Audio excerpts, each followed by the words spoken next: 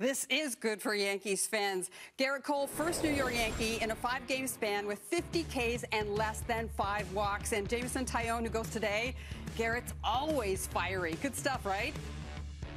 It's unbelievable. I mean, I mentioned this on the broadcast yesterday, uh, Nancy. He's a guy, obviously, he got a nine year deal, a lot of money. None of us could even comprehend what that is. And you wonder, well, what's worth that kind of money? He's worth that kind of money for everything that he's meant to the Yankees, for what he means in dealing with the media, for what he means dealing with his teammates, for how he is in that in that dugout. You could see even after he was out of the game yesterday, he's looking at scouting reports, he's talking things over with Higashioka and Blake. That's the type of player you want. That's an ace. That's a captain like a player.